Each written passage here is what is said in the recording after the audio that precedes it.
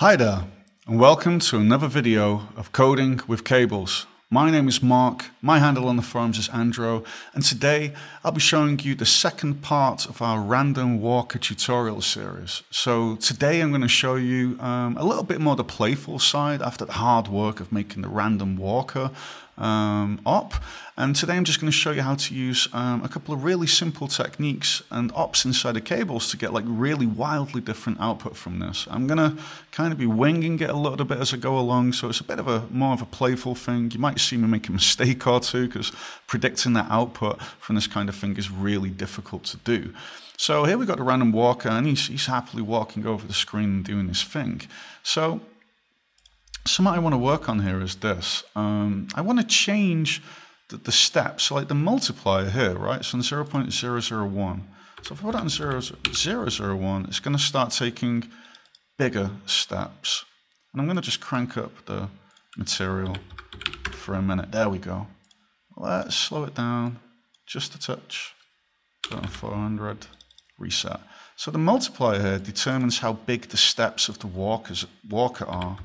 So if I put it on 0.1, this is how far 0.1 is. And if I put it on 0.05, it's now going to start drawing in between them, as you can see. And if I put it on 0.025, it's going to start drawing in between there. So uh, as you can see, this is already like a really cool pattern, and the only reason it's becoming black so quickly is because the alpha is a little bit high.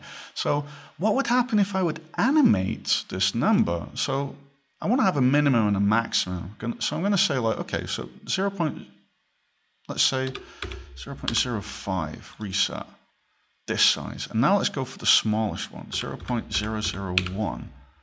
Okay, so I'm going to go here and I'm now just going to grab this out and I'm going to grab a sine anim. So as you can see, a sine anim gives this shape here between minus 1 and 1, has a frequency and an amplitude. So I'm going to grab a map range op. Okay. And I'm going to say old min minus 1, max 1. I'm going to say new minimum 0.001 and the new maximum 0.05. And now I'm going to plug this into multiply. Sorry, with the random walker and reset. And let's see what's going to happen here. Wow, look at that.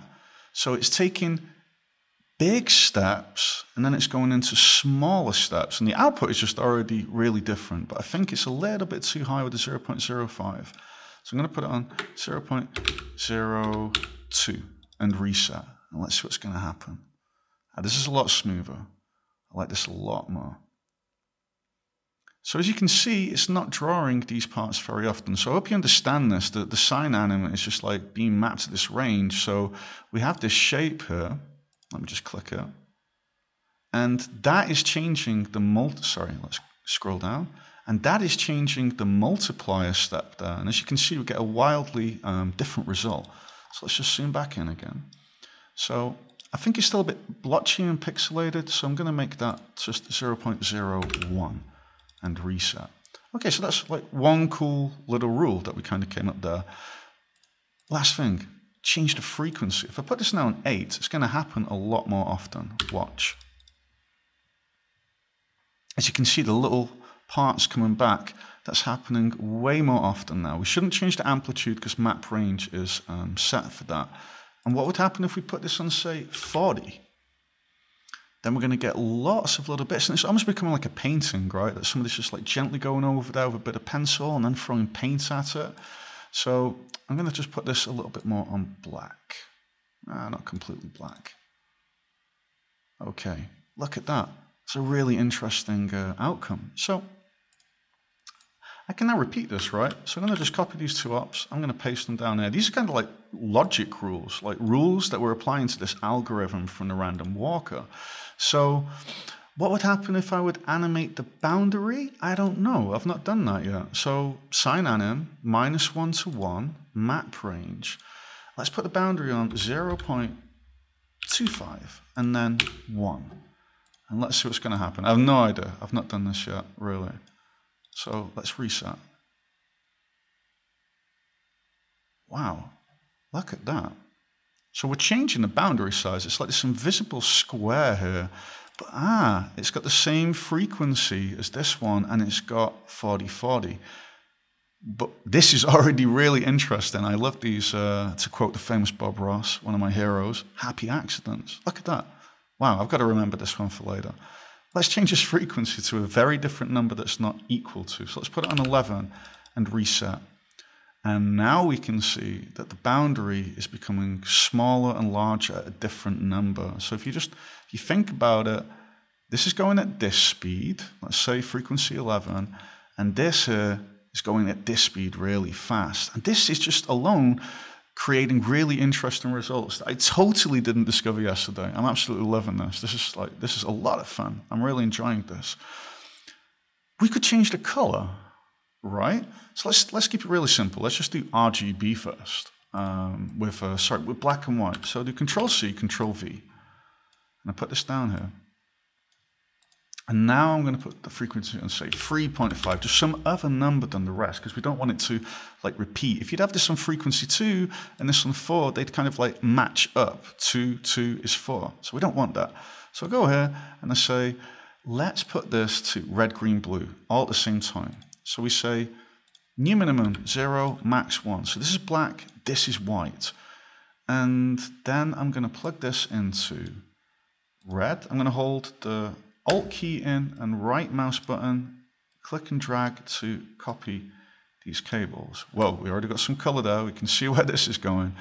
So I'm going to change the clear color because if it's white or black, we won't see it. So I'm just going to put it on like some kind of in-between blue. Let's reset and see what happens this is already leading to like really interesting results. So this is animating um, the color here, RGB, between um, zero for black and one for white, right? So say we wouldn't want it to be absolutely black. We wouldn't let the minimum be zero. We'd put it on say like 0.5. Let's reset. And now we get white and like shades of gray. So in this way, we can really create this very organic structure uh, and as you can see, we're painting with pixels. I mean, I love this stuff. I was so excited when I got this working inside of Cables because I think a lot of people might think Cables is only really good at lending itself towards real-time stuff. And I was really intrigued with the challenge of like, how can we approach and create stuff like generative art, like you can do in amazing other programs like Process, and how can we do that in the Cables ecosystem? So this is already really cool. So let's, let's just back this up for a minute. Now let's get one of my favorite ops, HSB to RGB. I love this guy. So I'm first of all going to show you it on a simple level. I'm just going to plug this into red, green, and let's move up a bit. I'm going to plug this into blue. Now, I have this hue slider here, and with that, I can change the color. I know it's a bit hard to see, but you can see it's drawing on top, right? These are really like outrageous colors. So I'm going to put the saturation on 0.5. But as you can see, I can change the colors here with the hue slider, right? And the best part is with the hue slider, and let me just pull this out for a minute. Yeah, he has to refresh, by the way. Uh, we can get colors like this with one slider. So let me just put this back. So we're now going to get map range, and I'm going to say, give me 0.2 to 0.4, which is a real tight range. And I'm going to plug it into hue and reset. And now, as you can see, I'm getting a very defined color palette, which is like this greeny yellow. So if I would want to now increase it, I could say, give me to 0 0.6. And let's reset. As you can see, I'm now getting this little bit of blue coming in. So with this, we can completely and utterly control um, like the colors that are coming out and it's like a way more pleasing thing because by using this slider the colors they kind of like um, match up a lot more so let's go another step further now because I'm really loving the way this is going. Let's grab the sine anim and the map range. And as you can see we're just doing this in the simplest way. We grab this. And now I think I want to change the radius of the circle because all the circles are the same size. So be warned, if you would plug this now into radius, you rebuild this mesh every frame, and that's really slow. When you do it with scale, this is going to work a lot better. So I just say to myself, 0.01, that's this size. I like that. That's good. So I'm going to say minimum is 0.01, and max is going to be 0.1. Let's just see what's going to happen. I really have no idea. And we're going to plug this now into scale. And we reset. And look at that. Let's change the frequency here to something like 0.6. And to me, the opacity isn't good. It's kind of like we're drawing over everything, and that's okay. But I want to lower the alpha. So I'm going to put it on like 0.01, like really gentle. Even a little bit less, 0.001. Let's see what happens. That's way more subtle now with the way that it's drawing on. And we get these really big points, but I'd like the smaller points to come back more, right? So I'm going to go here and I'm going to put the frequency on, say, 4.7, some, some other number, and reset. Ah, I'm enjoying that a lot more. And if I think that circle's a bit too big, I go to map range and I say 0.075, reset. And now I have like this framework in place, right? I mean, anything in cables which produces a number like Perlin or something like that, I'll show that in a moment, um, will also allow us to create these kind of things. I mean, before I really loved it when I had this, which was going to the boundary. I, I really enjoyed it when it was like on this really fast setting, like uh, let's put it on like 32 and reset. As you can see, it's kind of like limiting most of the things to be drawn here in the middle. I, I really loved this kind of stuff. We could make it even bigger. We can make it go to the edges of the canvas. Let's try that. Yeah, so it should be popping out more and more, but of course this is relative to where the random walker is, so you've got to give it a while to get going. So as you can see, we're now like really just creating really generative output with this random walker. And what would happen if we would say, I don't want to use a circle. I want to use a rectangle. Let's put that down. And now let's just turn that scale up for a minute so we can see what's happening. As you can see, we've got like a, like a rectangle now, and this is giving like a completely different kind of brush, right? So um, let's animate, because I'm winging this as I go. Let's Whoops, you got mixed up there. Let's animate the size of this, and I'm going to put it on, say, 0. I'm going to put on something crazy like 0 0.2, which is really big. I'm going to put it really small and say 0 0.01. And let's now plug that into scale, reset. And we get these small and big blotches. I like the way that's going. But we can change the size of this rectangle. So we can put it on 2 and say 0.5. And we're getting a completely different look here. But I want it to happen a little bit less. So I'm going to put it on 16. And I think it's still a little bit too big. So put it on 0.1. And now let's just go absolutely wild here. We've got like a random number here between 0 and 64. How about we say, I'm going to get another random number and I'm going to make this turn around. So I'm going to grab this. I'm going to say um, 0 to 180 degrees. And I turn off integer because I want it to be floats. And I'm going to grab this. And now I'm going to plug it into rotate X, I think. That's not the one I'm looking for. Let's turn this up a little touch.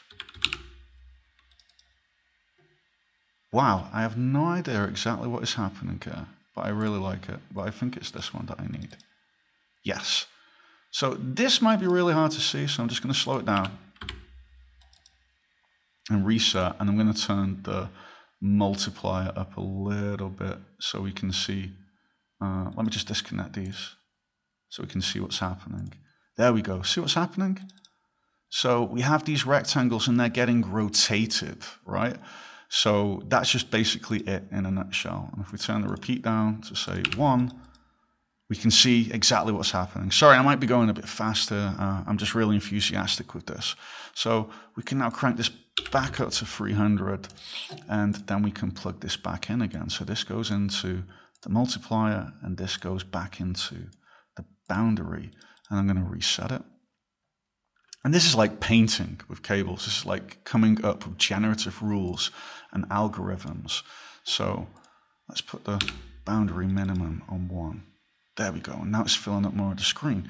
I, I, could I could keep doing this for hours, and I actually will um, later on tonight because I'm really enjoying the way this is going, and I just like worked this stuff out over the last day or two.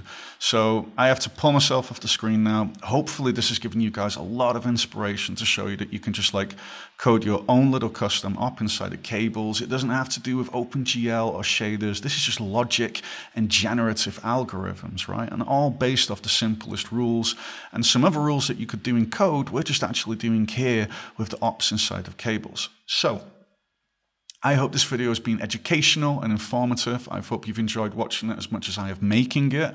Um, and I look forward to seeing you in the next video. The third part will show us how to implement this algorithm in 3D. And then we're going to be using this with splines and mesh instances. And we're really going to go wild with that one. And it's going to be great to just show how easy it is to implement this thing with one extra dimension.